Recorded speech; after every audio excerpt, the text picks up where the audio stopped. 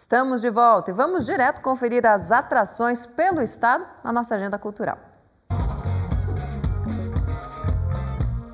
Neste fim de semana, o Teatro Novelas Curitibanas recebe o espetáculo Sinal de Vida, que fala dos limites do mundo virtual. Criada pela companhia Café Preto durante a pandemia, a montagem, agora presencial, é baseada na interação com o público, o que torna cada apresentação única. Na sexta e no sábado, as apresentações são às sete e meia da noite e no domingo às seis. Os ingressos são de graça, distribuídos uma hora antes do início do espetáculo. Tem lançamento aqui na capital.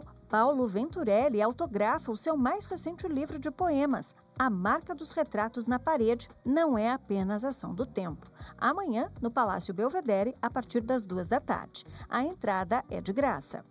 Este é o último fim de semana para conferir a exposição Perpétuo Movimento da artista boliviana Norma Greenberg na Sala 3 do Museu Oscar Niemeyer. A mostra inclui painéis, esculturas, objetos e instalações fruto da criatividade e inovação da artista, refletindo no espaço uma trajetória de experimentação e pesquisa estética. Detalhes no site do MON.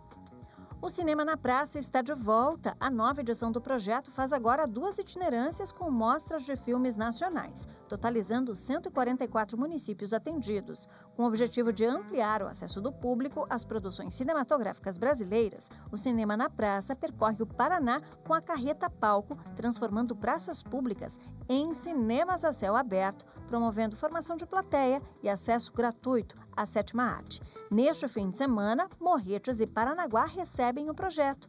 Toda a programação no site da Secretaria da Cultura. O Teatro Guaíra recebe Sinfonia Rock Led Zeppelin on Stage com uma performance intensa. A produção une a energia pulsante do rock à Orquestra Sinfônica de Curitiba, que contará ainda com a participação de banda e três vocalistas numa performance que promete emocionar os fãs do rock and roll. O show é amanhã no Guairão. Ingressos no Disque Ingressos.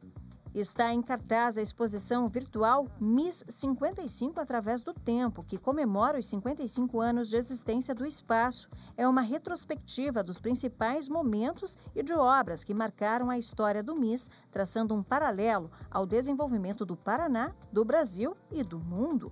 O público vai poder conferir da visita do Papa ao movimento Diretas Já em Curitiba do fortalecimento da TV regional à popularização dos VHS, a trilogia do Poderoso Chefão e o desenvolvimento do cinema local. Na Caixa Cultural Curitiba tem exposição gratuita Sonhos sobre Sóis, de Fabiana Wolff. A mostra traz telas de arte contemporânea desenvolvidas a partir de experiências humanas coletivas. Em cartaz até 31 de março, a mostra pode ser visitada de terça a sábado, das 10 da manhã às 8 da noite e no domingo, das 10 da manhã às 7 da noite. A entrada é franca. Segue até domingo na Caixa Cultural Curitiba a mostra Cine Concertos O Cinema Nunca Foi Mudo, com a exibição de filmes silenciosos com trilhas sonoras improvisadas ao vivo. A programação inclui cinco longas e uma sessão de 13 curtas, todos filmes clássicos do cinema mundial, musicados por três grupos. As sessões serão sempre às sete da noite, com entrada de graça. A sugestão é doar um quilo de alimento não perecível. A programação completa está no site Caixa Cultural cultural.gov.br.